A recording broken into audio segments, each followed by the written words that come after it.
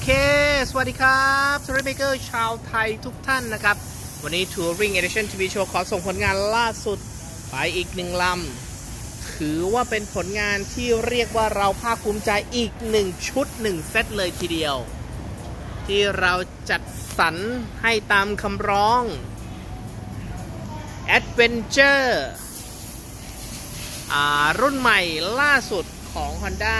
นะครับ สายเลือด Adventure Honda XL 750 นะครับ หรือชื่อเต็มๆ อย่างเป็นทางการของเขาก็คือ Transel นี่ครับ Transel XL 750หล่อๆ แบบนี้เลย เทพบุตรม้าขาว นี่ครับอ้าวดูเต็มๆ ก่อน คันนี้ก็เรียกว่าใหม่กริบกริบ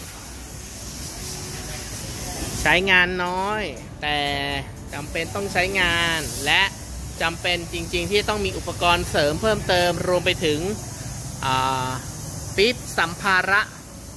เตรียมพร้อมสำหรับการเดินทางนี่ครับอ้าวสำหรับคันนี้นะครับ จัดใส่อะไรเข้าไปบ้าง ไล่เลียงกันหน่อยอ่าพี่เอิร์ธครับ อย่างแรกก่อนเลยนะครับก็จะเป็นในส่วนของตัว Crash Bar นะครับ Crash Bar ตัวนี้เป็นงานอของ SRC นะครับ เป็น Full Body Crash Bar นะครับ ก็จะเป็นในส่วนของ Upper และ Lower Crash Bar อ่าข้อพิเศษ ข้อพิเศษของของอ่า Crash Bar SRC ที่ทำให้กับ Transel หรือ XL 750เนี่ยคือ ตัว upper กับ lower แยกชิ้นนะครับ สามารถที่จะใส่ lower ก่อน แล้วเพิ่ม upper ได้นะครับ ในขณะที่ตัว lower เนี่ยนะครับ จะคุมไปในส่วนของตัว เครื่องยนต์นะครับ แต่นะครับเขาเพิ่มในส่วนของเพิ่ม option แล้วก็ในส่วนของตัวชุดยุดนะครับ แถมมาเรียกว่าเป็นชุดเดียวกันดีกว่านะครับ ชุดเดียวกันก็จะมีในส่วนของตัวอกล่างนะครับ เราจะเรียกว่าอกล่างหรือนะครับสับอย่างเป็นทางการของเขาก็คือการแคร้งนั่นเองการแคร้งตัวนี้จะช่วยมาก ๆ เนื่องจากว่า Adventure อ่าตัวตัว XL 750เนี่ยเป็นสาย Adventure แน่นอนว่าจะจะต้องมีการลุยทางดำทางฝุ่น มากกว่าทางดำนะครับด้วยโดยด้วยลักษณะของตัวรถของเขานะครับนี่ฮะส่วนตัว Upper นะครับก็จะเรียกว่า cover ในส่วนของชุดสีด้านบนแบบนี้ นี่เลยตามสไตล์ของ SRC ครับเขาก็จะมีในส่วนของตัวจอยนะครับเป็นบูธยึดระหว่างฝั่งซ้ายกับฝั่งขวานะครับบูธให้มา แล้วก็บูธด้านล่าง 2 จุดนะครับ ตัวนี้จะเสริมความแข็งแรงไปในตัวเลยดูรอบๆก่อนนะครับ งานเชื่อมนะครับมาตรฐานในส่วนของ SRC เขาเขาคงไม่ต้องพูดถึงนะครับ สีเงินที่เห็นเนี่ยนะครับวัสดุที่เขาใช้เป็นวัสดุสแตนเลสนั่นเถอะนะ เพราะฉะนั้นแล้วเนี่ยราคาเขาจะสูงกว่าสีดำซึ่งเป็นวัสดุเหล็กนะครับนี่ครับสแตนเลส แน่นอนครับว่าชุดประกับการสไลด์ SRC ให้มาจุดละหนึ่งข้างละหนึ่งจุดนะครับให้มาเลยในเซตของเขาโอเคอะเลื่อนขึ้นมาข้างบนในส่วนของตัวชุดบาร์หลัง shield นะครับตัวลูกค้าเนี่ยมีอุปกรณ์ที่เรียกว่าเป็น GPS นำทางนะครับมีมาอยู่แล้วนะต้องการที่จะเสริมในส่วนของบาร์หลัง shield ให้แข็งแรง แล้วก็วิ่งไปแล้วเนี่ยสามารถใช้งานได้จริงนะครับ ตัวบาร์หลัง shield ตัวนี้เป็นบาร์หลัง shield Heavy Duty ตัวแกนอลูมิเนียมทำจากตัวแกนเนี่ยทำจากอลูมิเนียมนะครับแล้วก็ตัวเหล็กตัวนี้เนี่ยเหล็กหนานะครับเรียกว่าป้องกันการสั่นสะเทือนได้อย่างดีเลยทีเดียวนะครับแล้วก็เมื่อติดบาร์หลังชีแล้วเนี่ยการที่จะติด GPS เนี่ยมันทำให้มองมุมมองมันได้ง่ายขึ้น แล้วก็มุมมองมองได้ถนัดขึ้นนั่นเอง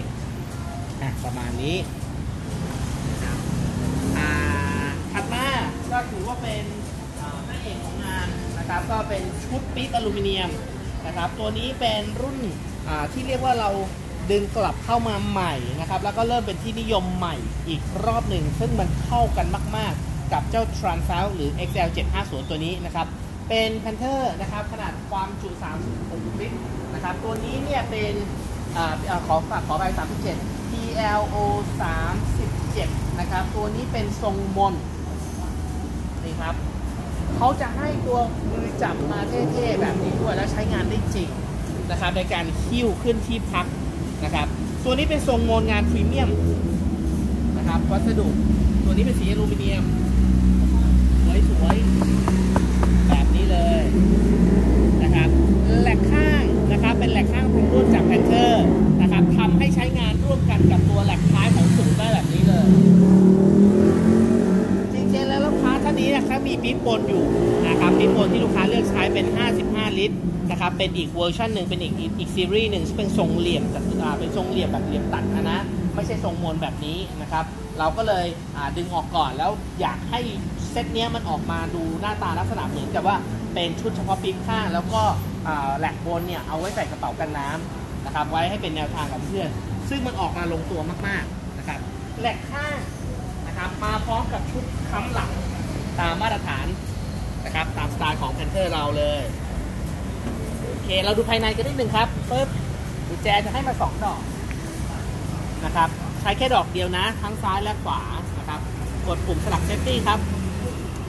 ชึบนะครับ กดฝาลงนิดหน่อยนะครับ เก็บสลักก่อนแล้วเปิดฝาขึ้นชึบอ่าตามมาตรฐานเลยนะครับ ที่ตัวฝาก็จะให้อ่าเรียกว่า inner มา แล้วก็ตัว inner ที่ฝาเนี่ยก็จะมี pocket เอาไว้ใส่ของกระจุกกระจิกได้ ส่วนตัว body เองเนี่ยก็จะให้ inner มาเช่นกันนะครับ inner นี่สามารถที่จะดึงนะครับออกมาแบบนี้ได้เขาไปติดตุ๊กแกแล้วก็มีกาวสองหน้าแปะนี่ครับดึงออกมาทำความสะอาดได้เลยนี่ครับอ่าดูภายในเขานิดนึงนี่เลยปึ๊บนะครับงานเนี้ยบเลยทีเดียวนี่ครับอะข้อพิเศษอีกอย่างหนึ่งสำหรับปี๊บข้างคู่นี้เซตนี้นะครับเขาจะให้ชุดกุญแจเป็นชุดไส้กุญแจ เอาไว้ทำไม ให้คุณให้มาเพิ่มหนึ่งคือเอาไว้เป็นอะไรก็ได้สองก็คือสามารถที่จะเอาไว้เปลี่ยนปี๊บบนที่คอลเลกชันเดียวกันนะเป็นคอลเลกชันเดียวกันเปลี่ยนปี๊บบนเนี่ยให้เป็นกุญแจดอกเดียวกันได้นะครับสำหรับ Panther เซตนี้นี่ปิดฝาครับเกี่ยวดึงแล้วล็อกอ่ากรณีที่สำหรับเซตนี้นะครับคอลเลกชันนี้เนี่ยเป็นชุดล็อกอีกแบบหนึ่ง เป็นวิธีการล็อกอีกแบบหนึ่งนะครับผมเวลาเราไขตัวเอาเอาเอาปี๊บข้างออกจากตัวรถนะครับใช้กุญแจดอกเดียวกันนี่แหละนะครับ ที่เราเปิดฝาแล้วก็เปิดฝั่งนู้นนะครับกดล็อกครับเชิบกดสลัก safety อ่าปิดอันนี้ล็อกอยู่กดล็อกครับกดสลัก safety ตรงนี้นี่ฮะสลักก็อยู่ตรงนี้อ่านะครับสลักเขาก็จะหลุดแล้วก็เก็บชุดล็อกก่อนนะครับ ให้ชุดล็อกตัวนี้ตัวขอเกี่ยวตัวนี้ มันหลุดออกมาจากตัว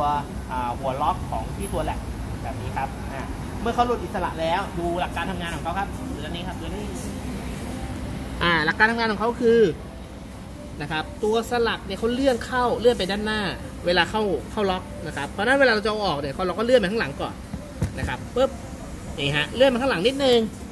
อ่าจนชุดล็อกชุดนี้เขาหลุดออกมาจากตัวอ่าแหลกขาแหลกข้างนะครับ แล้วก็จับปี๊บให้มั่นคง ยกขึ้นเลย นี่ครับแบบนี้ปึ๊บนี่ครับชุดล็อกแน่นหนาแข็งแรงนะครับ มีอะไหล่ทุกชิ้นนะเพื่อนนะอ่าทีนี้เรามาดูที่ตัวแหลกข้าง ตัวแหลกข้างเนี่ยนะครับ เรียกว่าเรียบหรู ออกแนวเรียบหรู แข็งแรง จุดยึดของเขาทั้งหมดรวมกัน 1 2 3 4 จุดด้วยกันแต่ละข้างนะครับ แล้วก็ใช้ยึดอยู่กับตัวแหลกศูนย์ได้เลยนะครับ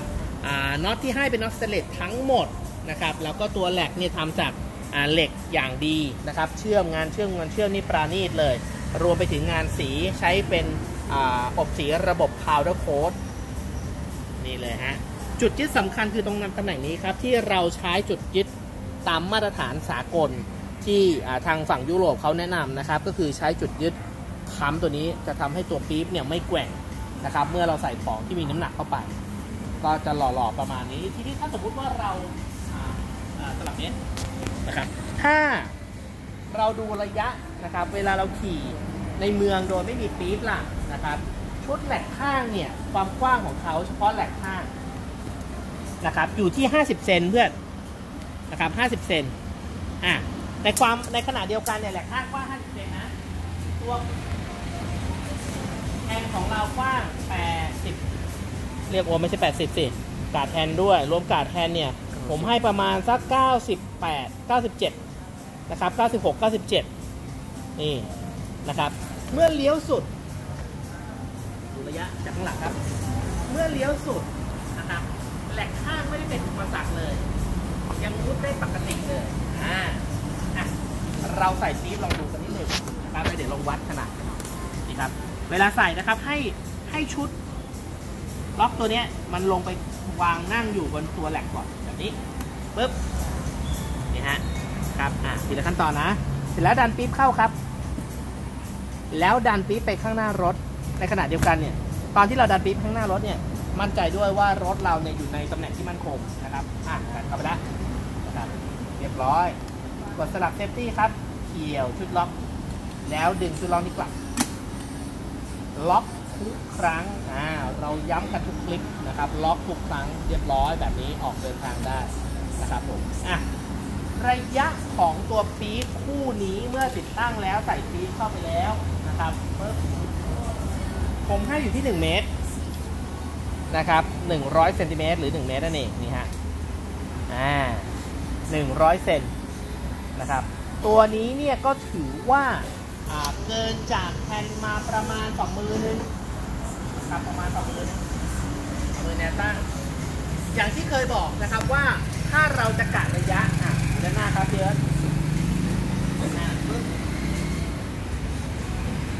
ถ้าเราจะกะระยะแล้วเรากังวลนะครับ เราแนะนำนะว่าให้เปิดฝ่าเท้านะครับเปิดฝ่าเท้าออกเราจะสามารถที่จะกะระยะของปี๊บข้างได้ประมาณนี้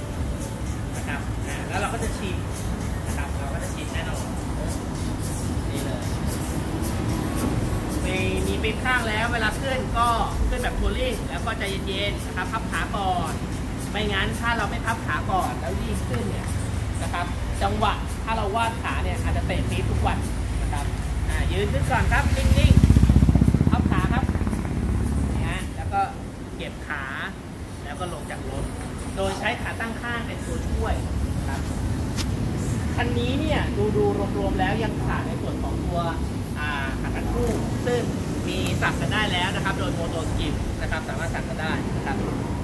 สนนราคาเซตนี้ทั้งเซตนะครับ ก็เดี๋ยวจะใส่ราคาแบบ full option ไว้ให้เลยนะครับสำหรับเซตคันนี้นะครับที่ติดตั้งไปนะปี๊บคู่ข้างนะครับแหลกข้าง flash bar เดี๋ยวเราจะใส่ราคาของตัว